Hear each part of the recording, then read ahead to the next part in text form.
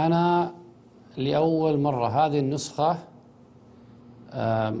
ما أحب كلمة راهنت ولكني يعني أرى أن الهلال هو الأقرب لنيل هذه البطولة.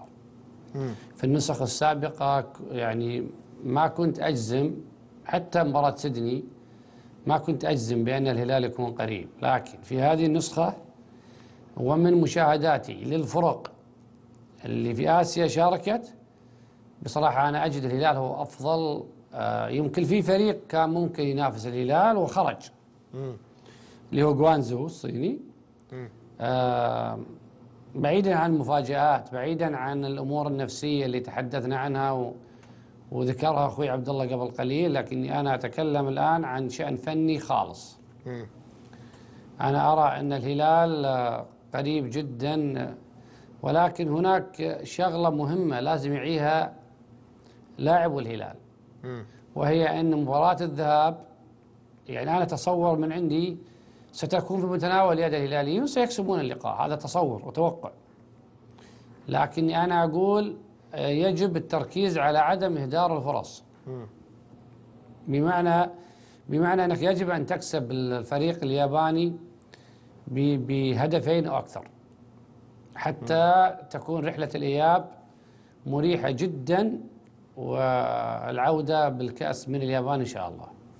يعني. ال- الوضع الف... ال- ال- الوضع الفني بكل أمانة ليس مقلق. أنا متأكد أنصار الهلال وغير أنصار الهلال يدركون أن الوضع الفني غير مقلق أبدا. أنا ما أبغى أتحدث عن الأمور النفسية لأنه أتمنى إن شاء الله أن نتجاوزوها. يعني مرت سنين كثيرة وخصوصا أنه الجيل الموجود الآن آه، منهم خمسة ستة عناصر آه، يعني عانوا في الفترات السابقة طيب. من من المباريات ال- الآسيوية. لكن أنا أتكلم عن جاهزية فريق وليش أنا يا عادل الملحم آه، يعني وضعت أو رأيت أن الهلال في هذه النسخة بطل آسيا وغرت فيها من فترة على فكرة من زمان مش توني. لسبب مهم واحد وهو أنه أنا أتصور أن الهلال الآن كتشكيلة وكتوليفة وكجهاز فني أقوى بكثير من هلال آه، سيدني وهلال آه، سيول وهلال ال- الأعوام السابقة اللي مرت. يعني أنت أكثر الآن شيء تخشى على الهلال فقط إهدار الفرص. هذا أكثر شيء تخشى على الهلال.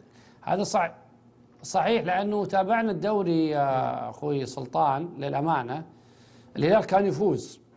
يفوز عادي ما عنده مشكلة. ولكن لو تشوف وتشوف المباريات اللي لعبها آه، أمام مثلا الفرق كثيرة لم يتجاوز يعني يمكن المباراة الوحيدة اللي سجل فيها أهداف مباراة التعاون اللي أربع أربعة ثلاثة. آه، بقية الفرق كان يكسبها ولكن يهدر. يهدر على يعني واحد صفر اثنين واحد اثنين واحد. فبالتالي يمكن المحب الهلالي يكون قلق من هذا ال- ال- الخاصية. انه انه إنه يسيطر ولكن لا يسجل كثير. لكن أنا أرجع وأقول والعلم عند الله وحده سبحانه أن ال- المباراة يعني ستكون في متناول يد الهلال بالذات مباراة الذهاب اللي في